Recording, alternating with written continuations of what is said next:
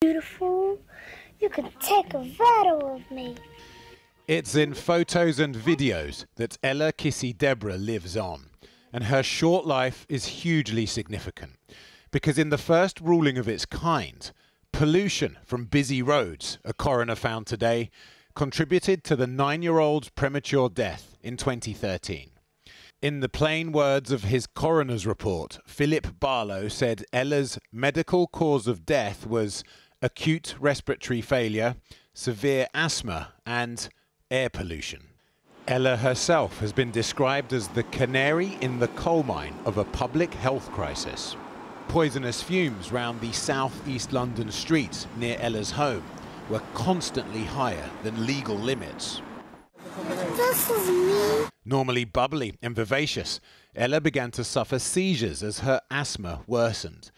She was rushed to hospital 27 times in three years before one night her body just gave up. Ella's mother, a retired head teacher, has spent the year since her death fighting to establish the truth. Failure to reduce pollution helped kill her daughter. Yes, this was about my daughter getting air pollution on the death certificate, which we finally have. And we've got the justice for her, which she so deserved. But also, it's about other children still as we walk around our city of high levels of air pollution. And I hope you heard what the coroner said that there are still illegal levels of air pollution now as we speak. So this matter is far from over. Ella's mother is one of many demanding a new Clean Air Act. There are busy roads across the country, just like the South Circular here, not far from where Ella lived, where pollution is, as we heard today, potentially deadly.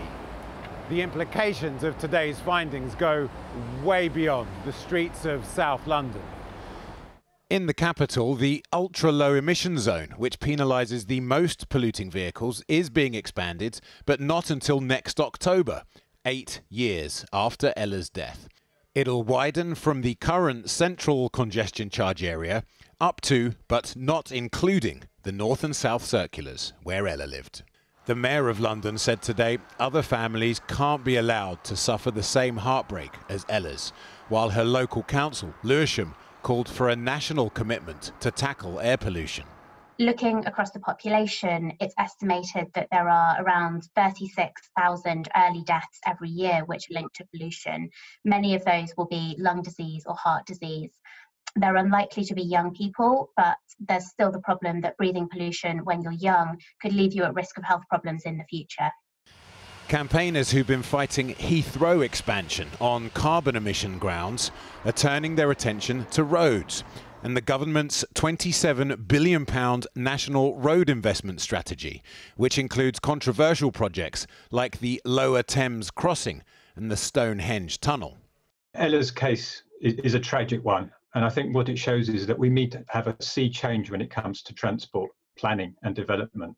Um, and for road building, it really should be the straw that breaks the camel's back. We need to be taking funding out of road building and investing in cleaner, safer, and healthier alternatives. The government said today that air pollution has gone down over the last decade, with emissions of nitrogen oxides falling by a third. But their thoughts tonight are with Ella's family and friends. None of this, of course, will bring her back. The question now is what today's ruling might do for others at risk from pollution. Well, earlier I spoke to Rosamund Adoo-Kissi-Debrah, Ella's mother, who you saw in that report, and I asked her what this verdict meant to her personally. It means finally I have the justice that I've been seeking for for almost eight years now. And it was absolutely overwhelming in court. And the fact I got to share it with Ella's siblings as well. And for them, who have now spent half of their life without their sister, and I could see how visibly moved they were. What kind of toll has it taken on you as a family? And you mentioned Ella's siblings there. How we lost Ella was so brutal. All those hospital visits, all the resuscitation on that tiny body of hers. And at times, she was scared, I was scared. You never knew where the next seizure was coming from. There were cardiac arrests that people found out for today. It was absolutely horrendous. And emotionally, it does take its toll.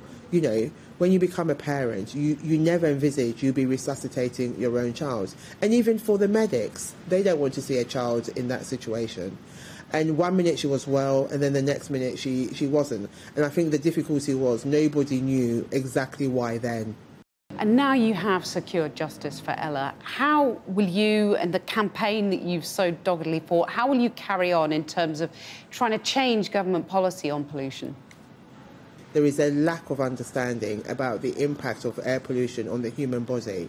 And I think people don't realise how quickly, especially a child under the age of 10, can become severely ill. So there is a lot of ed- education to be had.